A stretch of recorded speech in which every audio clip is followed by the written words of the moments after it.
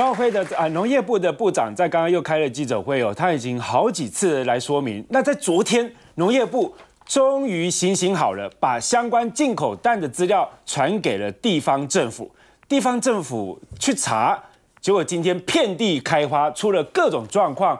先来看一下台北市，台北市有两个情形，第一个，他们吃到了福商混蛋，福商就是新北的蛋商啦，他有混到进口蛋，吃了多久？六月到八月啊，已经吃了两个月啊。好，那呃曾经提供给补习班，所以嗯，如果孩子呢最近有拉肚子，你可能大概知道是什么样的原因呢？那今天最新的还传出来，益美也被查出进口蛋一百五十万颗，盛大有一百一十二万颗，还有包括其他人哈。那其中益美跟盛大他们是有买到巴西蛋。但里面巴西蛋的比例到底是多少？其实到现在也是没有讲清楚。好，再来看到基隆市，基隆市呢，他们在收到函说有一家公司有进到呃这个巴西的进口蛋。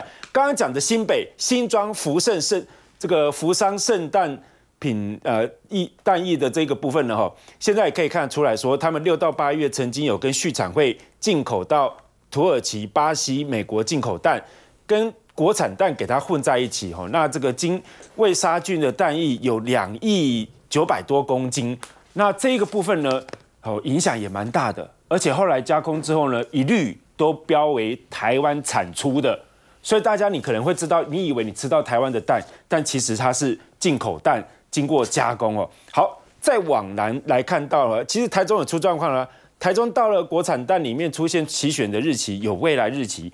他们九月十八号去查鸡蛋，就有有制造日期是九月十九号的，查到了未来蛋哦，数量不多，大概一千多颗，但是可以发现说蛋品的管制哦，真的是一查就出出现发现这么多。再来看到屏东的部分，他们查到了信心的这个蛋品里面哦，有出现状况，总共有巴西跟澳洲三十一万。多颗，那畜产会在人武的仓库里面也找到了巴西、泰国、澳洲、土耳其等一千多万颗哦，那其中有百分之八十三已经超过了有效的期限。高雄市卫生局呃开出了拒绝配合的罚单，最高可以罚三百万元哦。当然，现在民进党也开始有一种说法，他说啊，他本来就过期啦，本来就要销毁啦。暂时的放在仓库啊，有什么不对吗？然后我们今天也看到很多民进党正规军，包括谢欣妮、苏志芬等人跳出来说，这一些都是造谣，都是抹黑，但没有过期啊。本来有些过期就是要销毁，有人刻意放大，有人刻意要去污蔑。卢秀燕说，从今天开始，台中营养午餐禁止用液态蛋，一律叫使用现打的蛋品入菜。农业部再度改口了。昨天告诉大家讲了老半天，巴西的蛋根本没有涂蜡，它是有喷膜。那现在有专家，东海大学的专业教授陈英豪，他说他认为喷膜跟用蜡涂蜡哈效果都是一样的，他觉得这两个方式效果都是一样，没有问题。但有一个环节，就是他如果臭蛋的关键是他在洗选之前的退冰，尤其在海关。啊，他说根本不在洗选前的退兵，而是海关检验快慢跟退兵的情况。就你在海关的那一关等待的过程当中里面哦，状况会比较多，而且海关比较没有冷链的设备，他觉得这个环节会有问题。食药署长吴秀梅，他今天跟着陈吉仲一起到。民进党团开这一些相相关的说明了。他说，每一家公司的冷链系统都不一样，业者要标示效期，要经过评估测试，所以他认为业者要对自己的产品负责。吴秀美好像以前哦相关的关状况也都是讲过类似的话。陈吉仲今天终于出现了，他到民进党团报告，他说排山倒海的污蔑都不是事实，过去三个礼拜来都是造假的。他举一个例子。比如说进口鸡蛋来到这个台湾，来到进来之后呢，保存的期限到底是如何？他说我们都有把相关规定告诉业者。好，大家还记得那个逃出国外的土万彩吗？鸡肉大王，他当时怎么说？他说：“国内到现在都没有进口洗选蛋的相关规定啊，所以校企我就按照国内的这些鸡蛋的标示方式啊，哎，那就跟陈吉仲讲的不一样。所以造谣的到底是媒体还是外界还是图万财？那你要讲清楚啊。那从这个农业农业部有讲说，他们把这些进口资料已经在昨天交给地方政府了哈啊，也就是因为交出去，大家发现说哇，怎么问题这么大？请教斌哥。其实我要先厘清一个东西哦，其实不是那农业部把这个资料交给地方政府之后，地方政府才循线去查到，不是这样。嗯，其实农业部到目前为止，至少到我刚刚所知道为止，他交给地方政府的资料，其实都是地方政府自己查到的资料啊。那基隆那个是说农业部给他的嘛？我跟你讲，他给的大部分就是各地的仓储的地点而已，嗯，就是这样子。那个地方政府经过这这一两一这一两个礼拜，他们自己早就查到了。哦，对啊，所以请问一下，你给了什么？可是像易美那一些，不也是农业部提供给的资料吗？所以这个我可以讲一下，我有拿到这个文。对，所以照理来说，照理来说，农业部应该要给我们什么资料？不是只有单纯这个资料，还有你你既然你是从国外进口，你是不是全程都要保证它的过程？绝对不会像吴秀梅这样讲的，各厂商自己负责。那请问一下，各厂商自己负责，你是要谁要干什么？请问一下，还是吴秀梅又认为说，反正这搞不好是更好的蛋？对啊，陈其忠挂保证啊，说冷链没问题啊。他说冷链没问题，你敢挂保证说冷链没问题，表示你们都去查过嘛？不然你凭什么挂保证？是国外公司告诉你我冷链都没问题，好，他没问题，是这样吗？以后大家都拍胸脯保证就好了吗？你要派人去查的嘛？难道厂商一句话你就解决了？然后现在所有的事情全部推给厂商了，这像话吗？那再来，当初是谁说这种东西绝对不会有混合，绝对不会流入市面的？不是陈吉仲保证的吗？现在有没有流入市面？已经被抓到了，人家补习班那个团膳九百个人就吃到了。嗯那请问一下怎么办？也没办法，因为八月多就吃了。月。对啊，六月到八月。所以所以所以怎么解决？没得解决了。现在只有祈祷他们不会生病，就是这样，只能这样。那所以这整个是乱成一团。我们现在要的资料是什么？其实要的是你到每一家，你详细你的每一家的蛋，因为它有来自好几个不同国家，有巴西、有泰国、有澳洲、有土耳其。有一大堆这种国家，那你每一个国家的蛋进来之后存在哪里，然后从哪里送到哪一个地方去洗选，然后配送到哪一些地方，你要所有的流程呢？嗯，那结果呢？结果今天高雄市政府查到这一个巴西、泰国、澳洲、土耳其，现在有超过一千将近一千颗一千万颗，这个已经过期的鸡蛋，这个基本上这个之前没有出现在农业部给我们的清单上面啊。哦。那那是怎么回事？嗯，对啊，奇怪了，为为什么都会出现那种奇奇怪怪的现象？我现在根本基本怀疑农业部，你到底知不知道你进了多少袋？嗯，你到底知有没有仔细的留下？我现在都觉得有问题哦。那卢秀云现在是没办法，所以他只好说有，我们暂时都用有壳蛋。可是你要知道，有壳蛋就一定不会有问题吗？也没人知道。我讲实在话，蛋液可以混，有壳蛋它一样可以混在里头啊。你怎么你怎么知道一定不会有这种进口蛋呢？所以这个是一个最基本的。那至于说，我觉得现在陈吉仲到现在还在转移目标，包括整个农业部都一样，一下告诉我们说啊喷膜，一下子喷蜡，然后到最后告诉我们大家不要纠结在这个地方都不重要，从头到尾就是你在纠结，你不讲我们根本不知道有这种事。嗯那重点是在哪里？重点到我现在都没想明白，为什么这一颗蛋这么神奇？它比阿婆铁蛋还厉害，又冷又热，又冷又热，漂洋过海，然后它一直都不坏。这个是全世界最神奇，我觉得。如果确定这样都没问题，台湾应该可以得蛋品诺贝尔奖，这太厉害了嘛！你可以造出这么神奇的蛋出来嘛？所以我觉得到现在我很害怕是涂万才为什么突然之间跑掉？听说礼拜五要回来，嗯，会不会回来？是不是有人叫他不要回来？是不是有人叫他在？因为这个节骨眼他跑出去很怪嘛。然后现在他们把所有东西全部都推给厂商，这些厂商受得起吗？我是呼吁厂商，如果你真的想要自保，赶快出来跟大家讲。这个时候你才能够保住自己。当然，现在有人讲说，其实背后真正的关键是在新潮流。国民党的政策会副执行长李永平他爆料啊，说林冲贤有畜产会的这个主委哦，他说他当过宜兰县长，堂堂大主委怎么愿意当主委兼任的位置？是因为苏贞昌任内有所谓的百亿基金让他运作，如果他出事的话，受影响的就不只是新潮流了，连苏贞昌苏系也有份。吴子嘉也爆料说，始作俑者就是新系的中央续展会董事长林聪贤哦，我不是主委哦，是董事长。事情是新潮流做的，要小英男孩陈吉仲来背，蔡英文当然不肯啊，所以苏贞昌也出来主持正义，所以他不只是小英男孩，他也是新潮男孩了哈。那现在新潮流哦，是不是真的很怕动到林聪贤？那林聪贤何许人也？在二零一七年的时候，曾经有一篇报道，他当时还没有上任，他还是这个在县长。宜兰县长室里面工作哈，他说林冲贤还没有上任，就传出农委会的副主委率着一级主管跑到宜兰县政府跟他简报业务啊，这个官也太大了吧？这么多人大批阵仗的去给你做业务报告，当时还是农委会副主委陈吉仲这个出来讲哦，是农委会主动要求的哦，不是他耍官威哦，所以大到这种官威不用我耍，人家自己看到我就会帮我耍了哈。那到底百亿的基金是什么？百亿养猪基金四年编了一百三十亿元，难道真的是因为这一块大饼，所以背后牵扯新潮流，还有包括苏系相关的利益吗？请教博弈。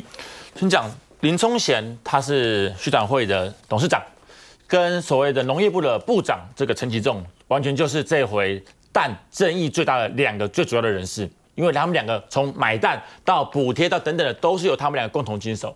但问题是到目前为止，你们大家有没有发现，我们所有的火力焦点几乎都在陈其仲身上，林聪贤好像没有关系。所以呢，为什么大家怀疑说这回陈其仲本来说新闻说他已经口头请辞，甚至获准了，后来大逆转，苏贞昌出来一说话说完全没有这个事情，都是有人在造谣抹黑，然后陈其仲保住官位被未留了。原因大家我觉得个人觉得很简单啦，就是因为内部啊想要去保住林冲贤的人，跟想要保住这个所谓陈其仲的人是完全不同派系的人。陈其仲是蔡英文的人。嗯，老鹰男孩、小鹰男孩，随便，反正就是蔡英文的人。但是林冲贤呢，则是新潮流想要保护的人。双方瞧不拢啊，现在变成说，如果陈吉仲下台了，林冲贤没事，蔡英文那口气吞不下去啊。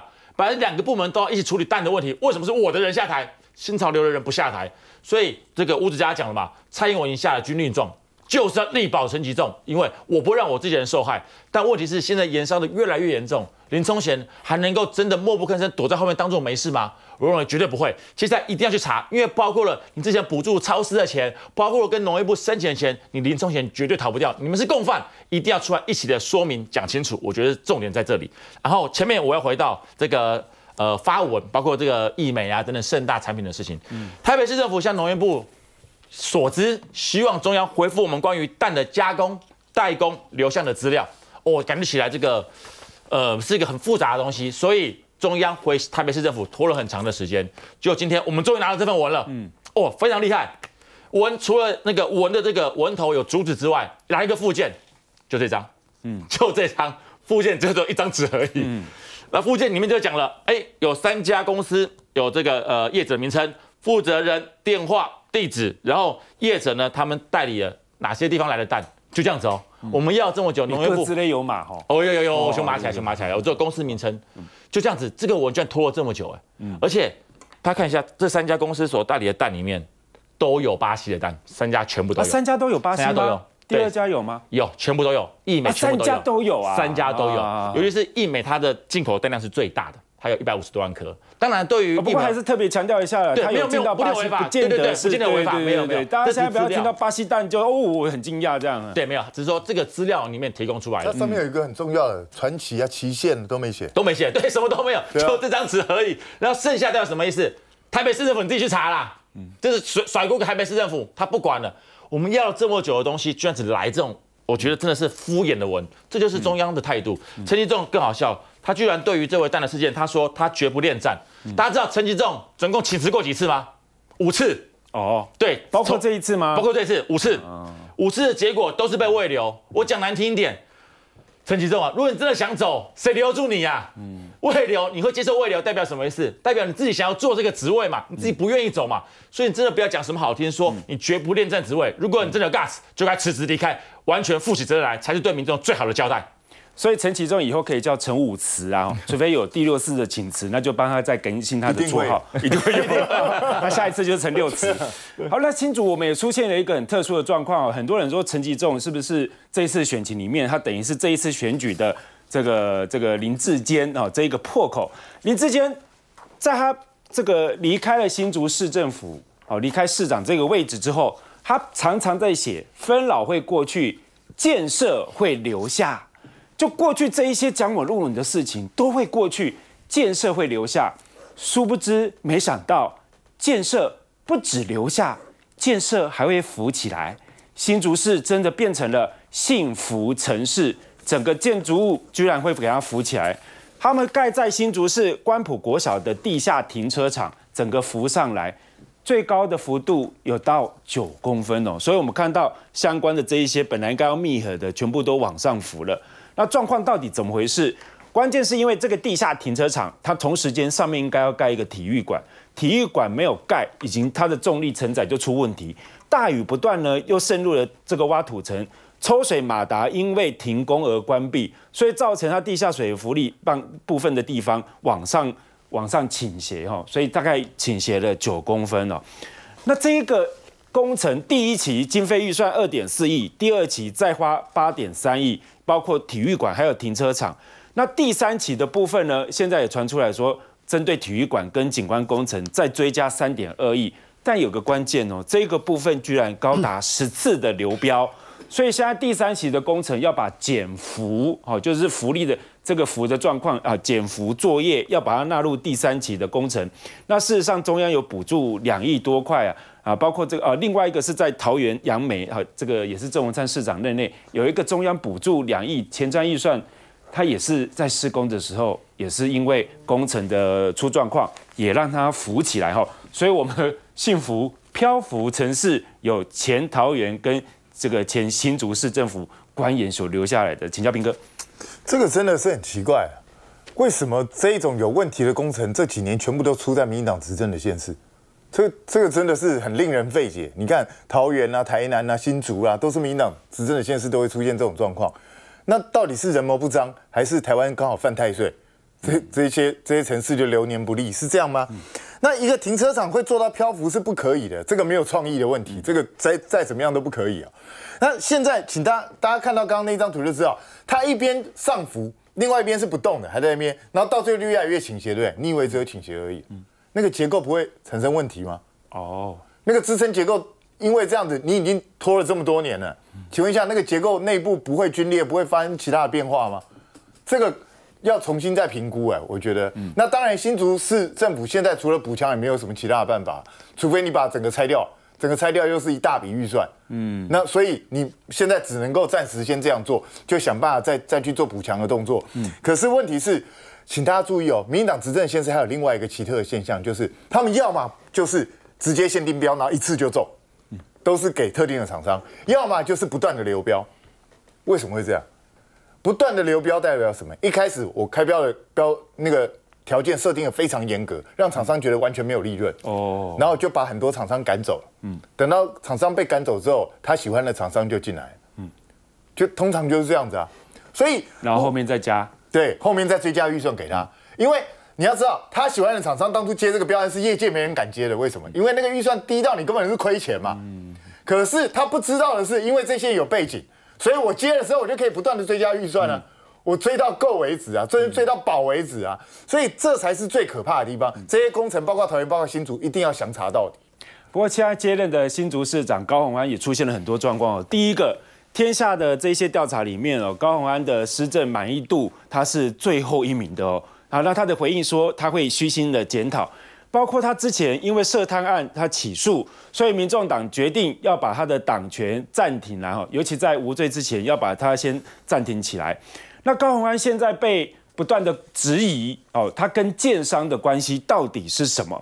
李正浩爆料说，涉及有百亿元开发价值的寡妇楼，原本在林志坚任内是把它冻结起来，但高鸿安一上来把它解冻了，帮他解套。那他的这个背后的关系又跟他的男朋友租的那一个豪宅非常有关联，他觉得有很大的问题。到底什么关联呢？关键人物就是这位林美满，高登国际创办人的前董座，他买了这一个回建筑，哈啊，什么叫回建筑？他们盖的，然后再回购回来叫回建筑，不是啊？简案名称叫回建筑了，刚刚要回购回来，那购的过程当然就被大家质疑，那他租给谁？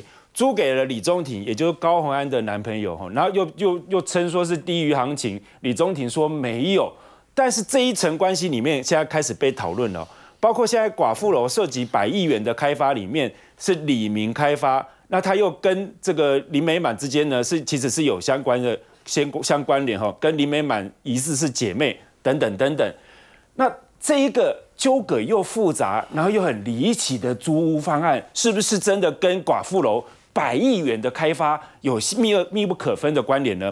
有人用时间表，一月四号林美满他用现金回购了回建筑，二月住户直击高鸿安出入回建筑，三月高鸿安解套寡妇楼的都更案，但是我这边对解套，我可能待会要请教这个博弈帮我们那个说明一下，到底是不是又真的解套，以及是不是真的林志坚任内冻结他不得开发哦，就是啊这个地方出状况不能不能开发哦，啊是高虹安上来帮他解套哦，有真的有这样子吗？三月十四号会刊跟第二次专案小组出审会等等，四月七号新竹市政府发函办理环评公平公开会议哦，就是开始后面就开始动起来了。不过，新竹市政府都发处今天也特别解释，他说这个案子其实在一百零四年哦就已经办理程序相关的审议，所以林志坚冻结他这个说法是不存在的，以及他在去年的时候，新竹市代理市长陈章贤任内就通过了绿资源审议作业，所以帮他解套的不是高鸿安。这是新竹市政府他们的一个说法，这特别请教博弈。我先讲了，一般来讲，就所谓的都更案，通常分为公办跟私办。公办比较没有意见，但是是政府来做庄，来大家来做，有任何就算图利回馈也是回馈给政府，然后回馈给市民。但是像这种所谓寡妇楼，可能疑似到会不会有扯到所谓私办的问题，让某些建商来做，这个老实说，这个利益可大可小啊。我不敢说到底有没有违法，但问题是，尤其是高鸿安现在他的名声，当然会大家。怀疑嘛，就觉得你这是有问题啊，因为包括你的住的地方又跟李宗廷有关，高鸿安从头到尾也不说清楚，甚至是连现在民众党都快跟高鸿安切割啦，嗯，所以你说高鸿安现在还具不具有公信力？我觉得是最大的问题。当大家信任你的时候，绝对会相信你是清白的，但是当你的信赖感出现破口之后，老实讲，不管是对或错，民众都会打上一个很大的问号。这是高鸿安现在必须要面对最大的问题啊！要知道，民众党之前还算是，我觉得还算是挺。高鸿安哦，包括你说中央委员的问题，高鸿安想请辞，但是民众党还是把他慰留了，希望他继续慰留，继续当这个所谓中央委员。可是到了现在，民众党直接说了，高在被判无罪之前，先停党职啊，直接有罪推定论了。哇，这个状况很差，我表示对于高鸿安而言，现在几乎是没有盟友了，被民众党给切割放生掉了。所以我只能说，现在所有后面的，不管是都更争议，还是有没有干政的这个所谓的男朋友干政的问题，我觉得高鸿安现在。真的需要花点真的好好的时间来对民众说明一下，因为如果他的信赖感无法找回来，他接下来施政会出现很大的挑战，尤其是高鸿安贪污案一审会不会被判有罪，这个还不晓得。如果真的被判有罪了，高鸿安会直接被停职，哎，接下来你副市长来带，或包括你接下来对于市政的推动该如何去做，高鸿安现在必须要有完善的规划，因为。高那个新竹市民选你出来，你一定要对他们做出完全负责任的态度，才是你应该要尽的责任。好，前阵子柯文哲他们家的这个所谓的违建哦，被人家盯上，后来就大家回口回回头去盯赖清德的，现在这一个回力标标向了谁？标向了陈明文，已经有民众跟嘉义市政府来检举，说陈明文的住家，还有包括他的服务处，有三个地方有违建。因为这样的违建，而且他们也都整理得很清楚，哪一些地方不该盖的冒出来了，哪个地方长高长胖了，都画得很清楚哦。那他们说已经传给了相关单位，做出具体的检举了。陈明文的住家在这个地方哦，看到呃，福这个民族路的住家看起来真的蛮大的，庞然大物一大栋哦，包括它的第六层改造了啊，第四层的顶楼也增加了第五层。这个都是不应该出现的，他的画出来的地方都有。这是他在民族路的住家，他在例行街的服务处呢，现在也被传出来说，他擅自增加了第四层，跟他登记的第三层呢，截然是状况不一样。那嘉义市政府比较低调一点，他说如果接到检举，会去勘查，好看看到底有没有违法的事实。陈明文的服务处说，我们现在还没有接到通知哦，这样会不会没完没了啊？这个东西需要别人通知你吗？你自己是不是违建，你自己不知道？嗯，你不会也跟赖清德一样吧？因为我有门牌，所以我就不是违建，是这个意思吗？是这个意思吗？哎，这一种很明显，它为什么很明显是违建？因为你完全跟你当初的申请的图完全不一样。那这种东西不是违建是什么？这个很明显的吧？这个不用再凹了吧？你不会这个也是矿物用地，你也是。他会不会有个矿工之子很悲哀的故事？我不晓得，还是矿工宿舍 赚人热泪啊？还是这些农业用地？因为他儿子养猪，所以 这是农业用地。有可能猪寮里头本来加盖出来要卖珍珠奶茶。对，里头里头住的都是猪，对，是这样的意思吗？我不知道。林哥那个那是是所以，因为他家到底有多少人？陈明文家到底有多少人呢？你这房子本身已经够大了吧？你还要在四楼那边本来是个露台，露台就是给你晒衣服啊这些地方，就你硬要把整个盖起来，盖起来没完，然后五楼上面继续再往上升，变成六楼，你太猛了吧？你们家到底几百个人在住啊？嗯，所以这很明显就是很简单一句话，明文规定嘛，因为这个地方是明文规定的、啊，由他们规定的、啊，嗯，对啊，由嘉义皇帝规定的地方，皇帝那奉天承运，皇帝诏曰这个合法，他就合法。那所以你没看到嘉义市政府跟他不同政党都很小心的，对不对？有嘉义的蓝绿是蛮特别的。对，所以我知道这个在在地他也知道不能随便得罪这个人啊，所以这种东西哦，可以可以让他继续这样无法无天的话，那那个赖清德那个没有门牌刚好而已啊。所以赖清德先帮他剪套了。我们休息一下，更多话题马上回来。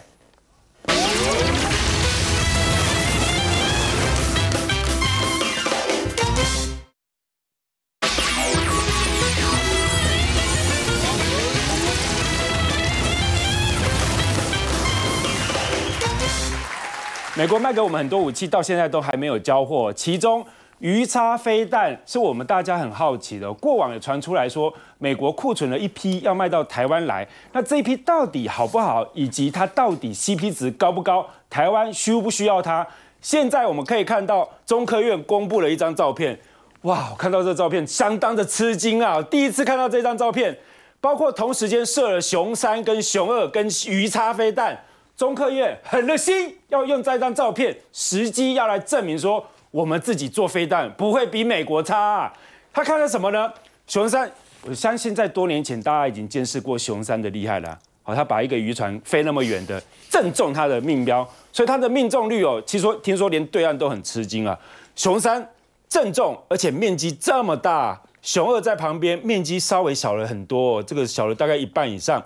鱼叉在边边角啊，边边角这个地方，所以中科院公布这一张照片实测的结果，要告诉大家，咱们台湾人自己做的熊山啊，下下叫鱼叉的效果差，而且它的妥善率很低，连续五年都低于部班的标准，效果差，妥善率又差，而且如果出状况，不好意思啊，必须回回到美国原厂维修哦。如果你的 iPhone 手机坏掉，要送要送到美国，你会怎么样？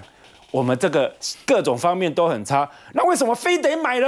而且美国讲说我们不会跟你工业合作哦，所以说我们相关的机密不会让你知道了。亮哥自己都讲了，我们做的熊三、天宫三型都不错啊，本来要量产，但是被美国给阻止了。我们政府就同意说，好啦，我们去买爱三飞弹、鱼叉飞弹，这要请教兵哥。我我不知道中科院公布这个东西是故意在吐国军的槽嘛？因为我们最近才又追加买了四百颗鱼叉飞弹，那 然后你现在公布这个，是在告诉我们乱买买一个哎中科院是不爽的，是不是？对啊，他他是不是觉得说我研发这么好的熊二、熊三，你为什么要去买鱼就我叉？这么厉害，你还对反买那么多对啊，别的？其实说真的，当初买大家就觉得没什么道理，为什么？因为熊二是跟鱼叉同级的，可是你从这张图片看，熊二造成的破坏力也比较强，嗯，对不对？熊三更不要讲，熊三本身是超音速飞弹呢。兵哥，那我请教一下，因为有网友讲说啊，你们故意把鱼叉打歪啦。这个东西哪有什么故意？这是他自己的寻标头，自己去找的。你以为还有一个人可以去操控他，不是无人机？这个就是他说你故意的啊，故意把鱼叉打烂、啊。这个就是造成的结果嘛。我跟你讲，如果这是故意的话，嗯你以为美军不会抗议啊？哦。你你再这样玩他的武器，你以为他不会？而且他公布的地方不是一般的地方，是航太展啊，是啊各国都会在的地方。所以这个表示他敢经得起各国检验嘛？就因为这就是事实嘛。实际上，我们的熊三飞弹、熊二飞弹本来就是世界一流的飞弹，那为什么要买？其实很简单，海军告诉你的是，因为我们的数就是制造数量不够，单价太贵，跟美国买比较快。可是问题是我们跟美国买了花钱啊，到现在都没来。所以有比较快吗？并没有。然后再来呢，我们的熊二、熊三为什么比较慢？你知道？因为关键的晶片在美国人管制，所以他不给你啊。那就是他管制你的晶片之后，然后他卖你飞弹，就是这样子啊。跟当初我们叫造了 ADF 之后，他就要卖我们 F 十六一样的道理。美国就是在搞这一套，但是现在这玩意儿妥善率这么低，嗯变成我们实质的国防完全不可能依靠它，然后根本也没来。所以我真的觉得美国人拜托你要台湾帮你打仗，你好歹也要送点东西过来吧，不要让我们拿一些烂武器还不给。那更糟糕。平哥，那请教一下，本来九月二十四号在新竹湖口的营区里面有一个阿派器的这个展示哦，那这次很不一样的是，他们陆军的航特部特别做了一个低适度的这一个所谓的虎斑沙嘴的这个彩绘哦，我看是蛮，我觉得蛮威的，又帅哦，然后。哎，摄影大哥摇头，觉得不帅哦，不不 OK，但我觉得还蛮帅的啊。主要是这个部分啦，这虎斑沙嘴的这一个彩绘里面，其实世界各国的这一些军呃战机啊，都有这些低适度的彩绘，增加跟民众之间的距离，让民众看了觉得哇很威啊，很棒啊哈。但是现在出了一个状况，说国防部的高层，还有包括陆军司令部的高层都不知道这件事情。看到有人在讨论的，很惊讶，说：“啊，媒体在报道了，这是怎么回事？你做彩绘，你没告诉我。”国防部震怒啊，要求你恢复涂装，不得以这样的面貌展示在世人面前。航空迷生气啊，他说：“啊，各国都这样，你有什么问题呢？”知情人士说：“问题在你没有报备啊，你就直接找民间啊。那现在如果改回来，不就白浪费了一笔钱吗？”请教兵哥，我觉得当然啦。做这种事情报备一下是会比较好。以军方的体系来讲话，那不报备，你可以说去要求他说，你们以后做这些事情要报备，或是你要惩处，我都没意见。但是为什么要改回来？嗯，都已经画了就画了，会怎样吗？哎，画这个东西，你以为是现在的人好玩吗？大家忘记当年飞虎队为什么叫飞虎队？嗯啊，上面就是画成这样子啊，也有画成鲨鱼的，也有画成老虎的，都有一大堆啊。其实那个不是单纯只是增加跟民间之间的沟通，让这些军武爱好者喜欢。其实那对提振国军自己的士气有非常重要的，嗯，这种感觉。因为每一台机都是我自己专属的，我有这种荣誉，有这种使命感，那我就会更爱惜我自己的武器，然后去发挥更大的作战功能。这这个军方的高层会做很多队徽嘛，是啊，增加自己的这个荣誉感。本来就是啊，为什么每一个部队都要有不同的番号？每个部队有不自己不同的这样图队徽，都是为了提振你的荣耀感嘛。一个部队如果连基本的荣耀都不讲究的话，请问一下，这个部队你确定能打仗吗？所以我真的觉得，拜托我们的高层不要再这么死骨不化。还有一件事情要请教博弈哦，因为现在我们昨天特别讨论到说，美国 F 三十五战机出了状况，这个飞行员他跳机了，但是这个飞机像僵尸一样。好像扔飞很久，飞飞飞，不知道飞到哪里去，找不到啊，那怎么办呢？美国的服务员这么辽阔，那只好上 Twitter 就发文，拜托大家协寻一下，我们战机不见了。就后来找到了，地点在哪呢？他们的基地位在查尔斯顿哈，那他跳落跳伞的地方是在北查尔斯顿的地方，那现在残骸是在他北更北方的两座湖的这一个附近里面，等于说距离他们基地大概有两小时的车程哦，所以他跳伞之后这一架。所谓的逆中飞战机哦，到底又飞了多久？目前还不知道。听起来显然是飞了一段距离哈。那包括外面出来讲说，主要是因为回答机 F 三十五的 S F 三十五 B 的回答机，可能是因为出状况了，电子设备没有办法回应哦，所以就真的找不到它。再加上它本来就逆中嘛，隐形，所以隐形的很彻底啦，真的找不到，一定要透过网友哈。一九八九年，苏联的米格二十三机，二十三呢，曾经有发生过他们出状况，在波兰上空，它只直接弹射逃生了。这个战机就真的丧失状态，飞了九百多公里，飞到哪里？坠毁在比利时的时候。当然，网友讲说，有这么难找吗？那怎么办呢？是不是要把它做成在牛奶盒上面，或者是贴在树上面，像这个宠物仪式一样？这个要请教博弈。我只能说，现在网络无远佛界啊，科技太进步，但是人还最厉害的，人多一定找得到。先讲 F 三十五，它造价八千多万美金，大概二十六亿左右台币，这是它造价哦，加上它一些高科技配备，一台可能花费四十多亿台币才能做下 F 三十五，非常的昂贵。而且大家知道 F 三十五它这样飞行的成本，一个小时啊。大家知道飞要多久要多少钱吗？嗯，它要五六十万台币，光飞一个小时就五六十万。所以说，它不管是保养还是使用飞行都是非常贵的飞机。所以这回它掉了坠机了，老讲美国是非常痛的，因为这是一个非常高科技的战斗机。但问题是，F 三十五属于第五代战斗机。第五代战斗机的意义什么？就是它逆中功能特别强悍了。结果它最强悍的功能反而造成美军找不到它的原因，非非常的荒谬。但我只能说了，好歹现在找到了，因为知道 F 三十五上面除了它的通信、武装、内装、动力之外，全部都是最高科技，尤其它隐匿的所有的相关科技。如果它飞的不在美国内，飞到其他他国里面去的话，哦，这个问题很严重啊，也许会被别人捡走拿来做研究。我是觉得比较恐怖，万一它飞到市区，然后因为我不知道它飞到哪。那不多多恐怖吗？所以这个是当然，如果他飞到市区，我应该就知道他在哪。但问题是麻烦，后续的赔偿会非常的严重。所以我只能说，这回真的算运气好。掉在一个没有伤到人的地方，而且是在美国境内，能够顺利的找回来。但是如果它伤到人或者掉到境外去的话，那问题会变得非常严重。所以我只能说，当然科技越来越进步是好事，可相对来讲，它所造成一些困扰也是与日俱增，这必须好好来处理。可是我还想提一下阿帕奇的问题。嗯，阿帕奇问题，我先说，我也觉得蛮帅，老实讲，有个嘴巴很帅。但是这回涂装彩妆阿帕奇有三个争议点，第一个争议点，阿帕奇这个彩妆的外漆到底是不是原厂的？要先确认一下。这外机如果不是原厂的，会不会影响到阿帕奇所谓的作战功能？要确定哦，因为这漆它是有逆中功能的阿帕奇，如果这个漆有问题，也许会丧失掉它原本的作战功能。再第二个就是这个彩绘阿帕奇的整个决策过程里面有没有违反了与当时美方购买阿帕奇的合约内容啊？会不会影响保固啊？你自己涂完之后，如果美方觉得不行，出了问题，谁负责？这个要先讲清楚。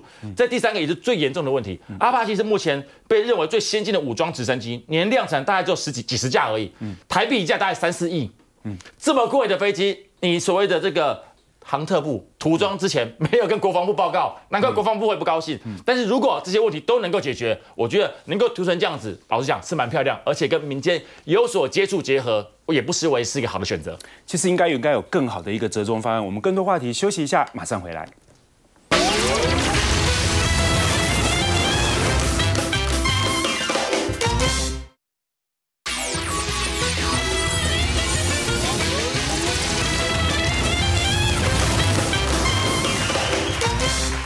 百亿大亨在逃亡，居然也出现了所谓九世要对决哦。别人做筒子逃亡啊，真的是筒子，但他做筒子做的是豪华游艇啊，连逃亡都有所谓的豪华版。这位朱国荣，他是国宝集团的前负责人，他在三月四月的时候，因为炒作相关的股票，还有包括内线交易等等等等等，很太多的案子在在他的身上了。九月七号的时候，照理讲他必须要在。这个傍晚的时候到警局报道，但他刻意的提早了四小时，在下午三点就出现在派出所了，随即就再也找不到这个人，人间蒸发。很多目击者说，八月多次看到他现身在游艇游艇港里面的游艇上面，然后还跟着很多这个长腿辣妹在那边呃办相关的活动，相当高调，刻意让人家看到。认为要制造一个他常常出现在那个地方，所以他只要出现，不要特别在意啊，要让海群这个解除他们的戒心哦。当然，我觉得这个说法蛮诡异的啦。这个有 有这个逃亡经验的兵哥，等一下可以 可以帮我们解释一下哈。那这个法院也要求说，他呃被开开训开庭问呃开训问庭哦，可能会通缉他。大家问他说，那为什么没有装电子监控？其实主要因为他不是性侵啦，也没有暴力的问题，所以金融犯是不用用脚镣的方式。那很多人可能对他有点陌生，可是有一部很有名的电影叫《神港奇兵》哦，里面讲的大圈仔变成反共义士，讨债炒股又翻身。这个主角的原生就是这位朱国荣，他本来名字叫朱子昭啊，中国广州人，后来到台湾合法的取到国籍之后，他也因为涉案入狱哦。那比对一下哦。他的角色比电影演的还要更狠、更毒辣。比如说，举个例子，电影里面是广州红卫兵，那现在他实际上是中国少年先锋队。哎，为什么这个胜红卫兵？为什么胜先锋队？好，然后然后电影里面是一九七九年偷渡到边境，他约这个朱朱国人胜，是因为他一九七四年游水偷渡。好，然后还有包括说，电影里面是杀港警、抢银楼、射杀保全。但真实角色他是抢澳门南通营营运钞车，同时呢跟同伙射杀了押解解这个解押员哈，然后他是电影里面演十大通缉犯，他是国际通缉犯，中国大陆还有包括香港、澳门都通缉，悬赏一百万人民币，反正就各方面他都很厉害啦，比电影演的就这也蛮奇怪的，怎么会有实际的角色比电影还要？还要更强。那电影的改编是什么呢？那他我们刚才讲说，他是就是要对决里面，他是豪奢版的，是这个桶子哦。他做的是这一个类似同样赛事，不是不是他这不是他的游艇哦，是类似的豪奢的游艇哦，造价可能有大概一亿左右的游艇哦，坐着游艇偷渡出去了。不知道他有没有驾驶哦，还是他自己开了哈。那现在有人周周刊报道盛传说，这一艘船呢是周泽南等人用投资的，听说他是什么游艇界的周董。哦，就就各种我们不不熟悉的外号，所以在超跑圈里面小有名气。他有经营这个超跑极速超跑的集团，他逃亡的隔天就出任了国宝集团松孝公松钢公司的董事长哦。当然，这相关的传闻周刊报道到现在一整天了，但相关人等到现在没有出面来说明哦。所以，他到底这一艘游艇怎么来？他们关系又是如何？然后，这一位所谓的超跑界的周董跟姚元浩。又非常常常有互动，哦，有搭档做赛车。那刚刚讲到游艇是停在八斗子的游艇港，然后我们可以看到这个就是平价版的筒子，哦，有人说真的筒子，啊，有人讲说是很烂的这些船里面很艰艰辛的躲在里面，哈，哎，兵哥当时是豪奢版的吗？没有没有没有，我我是降级版，就普通海钓船。兵哥你怎么看这事情？那个朱国荣现在应该就是逃了啦。那逃了，我觉得要再抓回来很难，因为他的保释金是史上最高，单一一次的话是四亿，四亿，对，那他两次，所以是五亿，追加，后来追加了，对，因为他第一次是一亿，后来四亿，他五亿。可是他百亿是身价不是吗？所以好了，所以好了。哦，所以五亿啊，对，一百亿五亿，那当然是逃啊，就这样子啊，怀疑啊，哎，人家五亿探长就已经很了不起，就拍电影了，人家五亿交保金呢，就我在海外还有九十五亿，对啊，所以对他来讲，他要逃是很正常，因为他的他那个被判刑大概是逃不掉了，他这个官司也没办法再打下去。那这个朱国荣真的是非常非常传奇啊，他除了在金融界、寿险界，他甚至曾经是我们媒体的老板，你知道。他真的是媒体的老板啊，对啊，大家应该都知道，因为我们媒体很多同业，甚至某一些现在在台面上这些名嘴啊，媒体人过去都管过，对，过去都被他管过，这个大家都知道的。那朱国荣就是为人是很讲，就是看起来是很海派、很讲义气。那问题是，他黑白两道都非常熟，然后他的钱到底怎么来的？说真的，我都怀疑他自己搞不搞得清楚。因为因为外面的人，至少我身边好几位曾经，包括我的前辈，曾经在他手下做过事的人，都没人搞得清楚他钱到底。他有电视圈嘛，又有殡葬业，又有寿险业，出生入死的太多了。对啊，太多了。因为他有的是真的他在经营，有的是挂名啊投或者投投资，有的是投资，然后有的是相互合作。所以这个中间非常非常的复杂，所以当初给他天价交保金的时候，其实圈内就很多人断言他大概八九不离十会逃啊。那这如果预判那么多人都预判他会逃了，那我们对他相关的房界是不是真的掉以轻心了点？我觉得这个你轻则可以说是掉以轻心，重则就是反正。因为你你有了这么天价的交保金，已经给社会一个很好的交代，所以就就不用再这么紧锣密鼓了。嗯，因为所以像柬埔寨那个今天不是也发生了吗？柬埔寨园区那个把人那个弃尸的那个七万块钱交保，现在也跑了。嗯，对啊，所以就是这样的。而且这个朱国荣很厉害哦，因为他其实前阵子才刚办了一个活动，就最后一次公开办活动是他儿子的满月酒。他今年七十岁了，他娶了一个嫩妻，三十岁。然后他刚帮他买信义区上亿的豪宅，办了一个轰动的满月酒，就后来大家才知道说啊，原来是个告别宴啊。对啊，因为反正都要离开了，就要庆祝一下，就 就大家亲朋好友聚一聚啊。那他要离开，其实早就有迹可循了。那所以，我我个人觉得，你说这个是不小心被他逃走吗？我认为是眼睁睁就看着他走。不知道有没有打通关哈？我们更多话题休息一下，马上回来。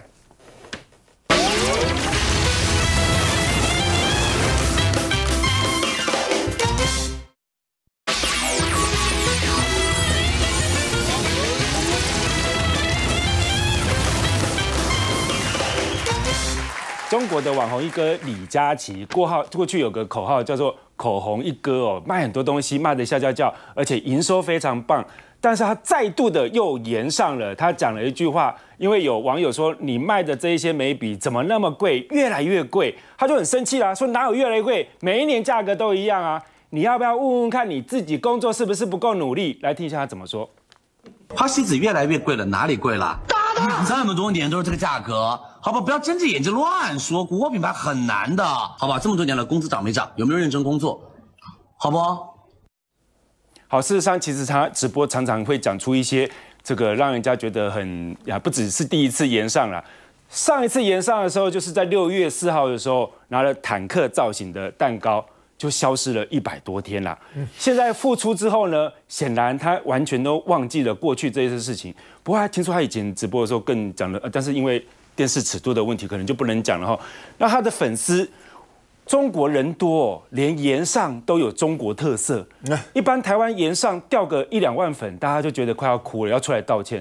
他一掉就掉了一百三十万粉哦，这是中国中国式的盐上掉出来这么多。那现在大家也开始讨论说，你这样的讲话，买你的这一些口红。买你的眉笔的都是中国这一些基层的上班族哦，辛苦的这一群，结果你居然笑他们工作不不够努力，是真的他们自己不努力，还是说现在的大环境对于他们来讲努力的也不见得有用？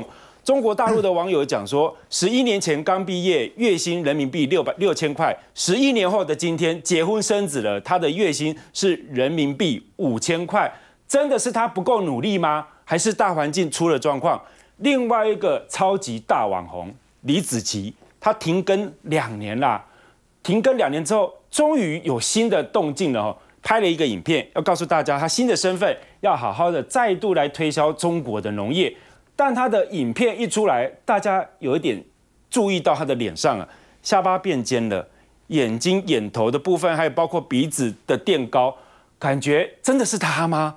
哦，是不是有整形？又或者他有 AI 变脸？或者是他用了一个特殊的滤镜啊，各种的讨论都有。当然有人讲说他真的是很厉害，第一名哦。包括我们看到其他的小高啊啊，都还没有他厉害。那更厉害的是，他停更的这段期间，光是网络的分红哦，都还有每个月三百 万到三百五十万，吓死人了。请教斌哥，所以人家躺在那边都比我们拼死拼活好过得多，所以我们。干嘛努力？错，不是这样想。你要更努力，有一天你会超过他。要这样想才比较有建设性。不过蛮难的啦。但但是最后一句话是，不过这个李佳琦哦，大家有没有觉得有点似曾相识？Deja vu？为什么你知道？我们之前蛋荒的时候，那些绿营侧翼不是说，不是蛋贵，是你自己不努力，是你自己赚不了多少钱，你才会嫌蛋贵。这个是正常价钱。记不记得当初不是很多绿营买不到蛋的是奥克，对，买不到明天来，对啊。怎么会嫌贵？所以你看，不是一模一样啊。但这种话就会刺激到很多人啊。嗯，因为我们会觉得说是怎样，是我我们是怎样赚的比较少，就应该要被你这样羞辱吗？他那个眉笔我查了一下，台币好像是三百多块钱啦。是。那有一些网友说，台湾的眉笔比较普通的，搞不好一百块都还不用到，然后有好一点的也一百多亿。然后甚至有人用公克数去算啊，说它可能比黄金还要贵。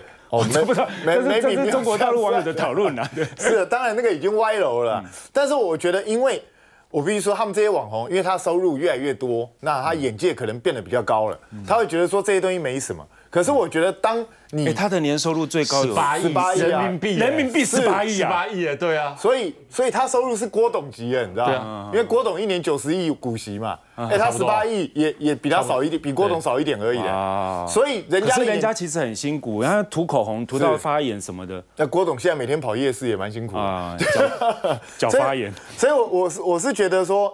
他的眼界越来越高，他可能忽视了一般平民的真实感受。他如果这样的话掉粉，我觉得不意外，才掉一点点而已，可以继续努力继续掉。那至于说李子柒呢？现在我跟你讲，你隔个一年不见，长不一样是很正常，长一样才比较奇怪，好不好？现在这是正常啊，因为化妆技术日新月异啊。